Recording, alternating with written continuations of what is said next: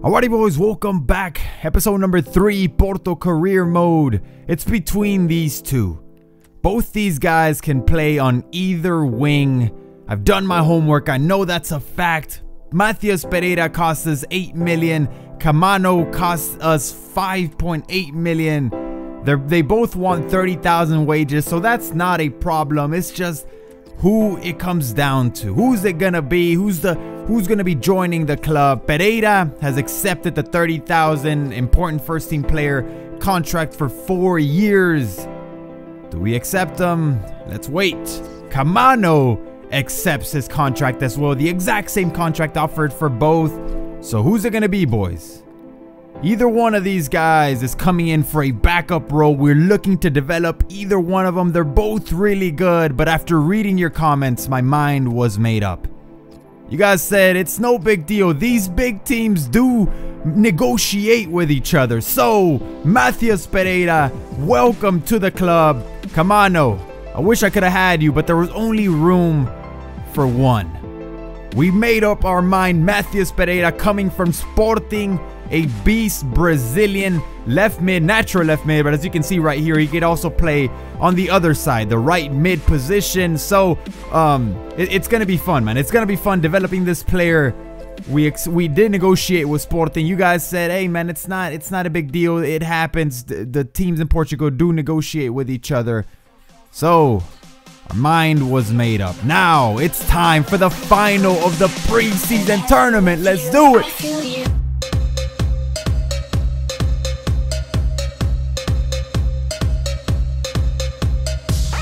Yes, baby, we're here. Torino awaits. They're standing in our way of the cup.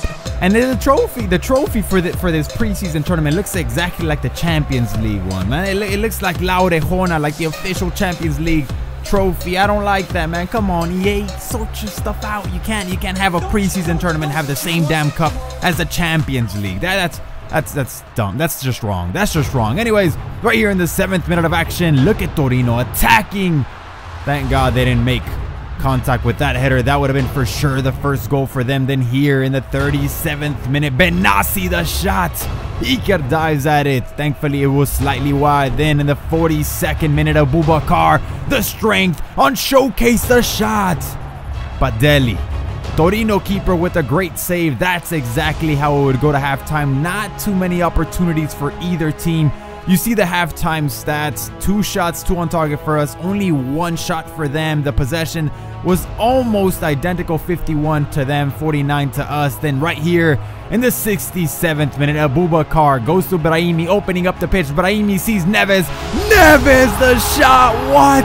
What a golazo. How did that go in though? He hit it so damn softly. I was so surprised this actually went in, but what a golazo for Ruben Neves. Look at it once again. I mean, I think, look at Aboubakar. Look at Aboubakar. Like, he's right in front of the goalkeeper, and he's offside. Should that have been called an offside? Did he possibly obstruct the goalkeeper? I, I don't know, maybe, but hey, we'll take it. It's not our fault the ref didn't call anything. We take the lead in this preseason tournament final. Now it was time for substitutions. Brahimi leaving the match. Corona's playing on the left wing. Matheus Pereira, the brand new player from Sporting, getting his first minutes with uh, with Porto. Then here, Gabriel Jesus is coming in also for Aboubakar in the striker position. Torino recovers the ball. They take the shot. Goodness, we can't be losing the ball out like right outside our box. That is just gonna kill us. And right here, Matheus Pereira touching his first ball with Porto. What a pass to Gabriel Jesus. Oh goodness, he had the goal right there. The two Brazilians linking up, the two brand new players, but they weren't able to finish. Then right here, Torino coming back in the 87th minute, but Iker with a great save. Boys, you hear it. The ref blows the whistle. We win this match with the Ruben Neves goal. A very soft touch, but a golazo. Nonetheless, 1-0. It's enough to win this match. We take the Champions League. Yes, you heard it right. You see the trophy. It looks exactly like the Champions League trophy. There it is, La Orejona. Just kidding. We won the damn preseason tournament. What I care about is the money. Wait a minute, did, did I just say that? Yeah, what I care about is the money that this damn tournament brought to us that is gonna that is gonna inject our transfer budget. Six. I mean, I mean, we we just were the better team. Torino had very few attacks, but the 4.6 for winning the final is has been injected into our transfer budget. Then Iker brings us the news. He's considering this to be his final season of football. He's considering retirement. Iker, the legend, looking to hang him up. So we'll see what we do about our goalkeeper situation. But PSG offers for Francisco Ramos, a young 20-year-old, uh, 68 overall central midfielder. They they offer two. We ask for six. We'll see what they say. I know they have the money. Come on, PSG, don't be cheap. So Raul Gudiño, we loan listed him. Madeira, União Madeira, a team from Portugal, says, hey, I'll take him off of your hands. And the weird part about it is, uh, in real life, Raul Gudiño went from Porto to Madeira on loan as well this season, like a month ago, or now like two weeks ago, or something like that. So it's really weird how it just happened here in game as well. But we let Raul Gudiño go on loan so he could develop, especially since Iker you know, is considering retirement. We're going to need our goalkeepers to develop. We have Jose Sa, a young goalkeeper as well, and we have Raul Gudiño. So we're, we're covered, but uh, we need them to develop. So here we go. Moussa Marega. 7 million Aston Villa is offering for him. I say, give me 10 million and you can have him. We had transfer listed this striker since we, we brought in Gabriel Jesus from Palmeiras. We're not really going to be using him. He's 24, so he's not going to develop all that much anymore. Uh, PSG came back and said they, they don't they don't want to pursue our player anymore. They don't want to pay the six million, so that's that's okay.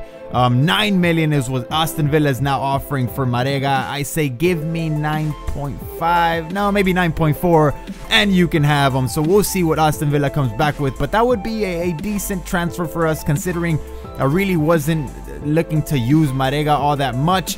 Aston Villa actually accepts the offer. 9.4. They decided go with go ahead with the deal, so that's some good news. Then bad news, man. This I'm not gonna try to pronounce his name because it's just not gonna go well, but he's a young center back from Nigeria, five months out an injury for five months. So that, that's terrible news. 8 million is what we get to our transfer budget for selling Marega. So our transfer budget is looking like this for now. I know you can play around with it, but 23.2 million. Hey man, that's some healthy amount. Then we we keep getting offers for our young young players right here. Andres Silva, Borussia Dortmund wants him. He's a 19 year old, 70, 70 overall striker. I, I thought about countering 6.7, but I was afraid they were going to match it. So I said, I don't want to let him go. I truly don't want to let this kid go. I think he has a bright future. He does have some potential. So I do not want to let him go. Then Evandro. Uh, Real Betis is looking to buy him off for uh, for four million. I say give me seven, and you can have him. You know, Evandro, he, he's he's a decent player. He's a good backup. He is 28 already. So if they give me seven, and they do give me seven, then they could have him. So I, then, as soon as they accepted the seven million dollar offer, I said, "Damn, I should have asked for eight, but you can't, you can't always get greedy." So Evandro will be leaving the club. So damn, man, that means more money into our transfer budget. But now it's time for the first official match of the season. We're at home receiving Pacos Ferreira. This is a team that we shouldn't, shouldn't have way too much trouble with. We should be okay for tonight. You see the starting lineup. It's a standard default lineup. Nothing special, nothing different. Iker Casillas in his last season potentially. Here we go, boys. We are underway. I'm a little nervous. I'm a little nervous, but we should be okay. And the first play of danger is for us, thankfully. Andre Andre to Corona. Ooh, man, what a save from the goalkeeper. I thought Corona was going to score the first one of the season right now. And here in the seventh minute, Aboubakar with the pass to Tecatito Corona. Goal, baby. The first one of the season now in the eighth minute of action. Look at the showcase of strength by Aboubakar. The center back pretty much ran him over. He stays on his feet, gives off a great pass to Tecatito Corona, who with a finesse shot gets it around the keeper's reach. 1-0, yes sir, against Pacos Ferreira. It started, baby. Here in the ninth minute, or in the eighth minute, it just started. But then Corona loses the ball in the midfield. And this, ladies and gentlemen, is terrible defending. How could I let him get all the way into our kitchen? reach his hand into the cookie jar and just take a cookie. Come on, man. That's that, that, that those are our cookies. I mean, look, look at that. Come on, man. You got. Uh, I was trying to take it from him with Herrera, but I, I should have dragged one of the defenders, one of the center backs out to at least contest the shot, if not block it. Right here, Aboubakar, though, in the 24th minute. Herrera with the shot. Nice save from the goalkeeper. Danilo back to Herrera. 2 to 1. Things are back in our favor, baby. Hector Herrera, the captain for tonight. Nice, nice stuff right there. He took the shot, almost scored that nice goal, but Danilo hustling, making sure the ball stays in play and the nutmeg for the goal. Look at it once again. Yep, right through the legs of the defender. He's got to feel terrible. That that can't feel good. To, to get the ball scored between your legs, yeah, that, that's not that's not gonna feel good at all. But right here, early into the second half, Miguel Layun, the pass to Pereira. Danilo recovers it to Tecatito. Come on, finish it. Yes, three to one. Boys, could the floodgates be open now? Is this it? Is this it for Pacos Ferreira? Oh goodness, their defenders, man. It became more and more evident that they weren't of uh let's what, what, what how can we put it? Very high level if we can put it like that. So Hector Herrera, he's gonna get subbed off for for uh, Ruben Neves, the young young prospect for us. Brahimi is coming off for the new player here, Hirving Lozano. And here we go. I'm excited to see Hirving play, man. I'm excited to see him play right here. Aboubakar to Ruben Neves. Takes it back from the defender. 4 to 1 in the 70th minute of action. Maybe the floodgates did open, baby. Right here. Look at the defender actually initially took it from Neves.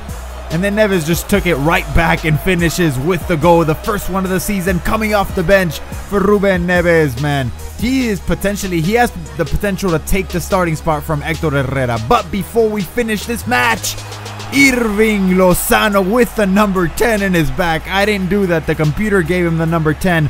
I think I'm going to change it because his style just doesn't fit the number 10. So I might save that for a new player that, that, that will be joining the club very, very soon. I don't have any one player in mind. Maybe I do. You'll find out right now at the end of this episode. But the ref blows the whistle. Five. Yeah, you heard it right.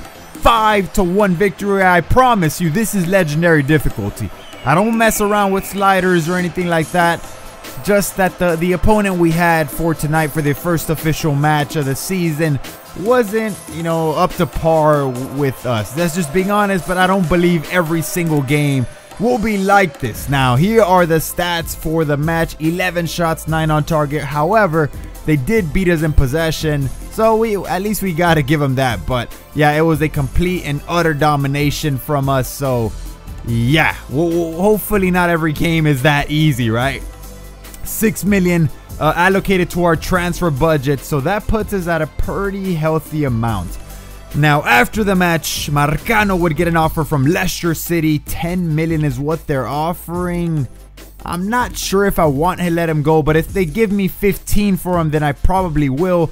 Uh, we do have Martins Indi to cover his spot. We have Diego Reyes out on loan, so we probably wouldn't have to buy another center back. Now, boys, we have 29.2 million right now. I know you can play around with the budget, so we probably have over 30 million now. I thought about bringing one big fish, just spending it all on one big name, but I think the better thing to do would be to bring three medium-sized names from South America, from North America, and then just develop them. That's the Porto thing to do. So guys, thank you guys for watching. Likes greatly appreciate it. I'll catch you guys on the next one.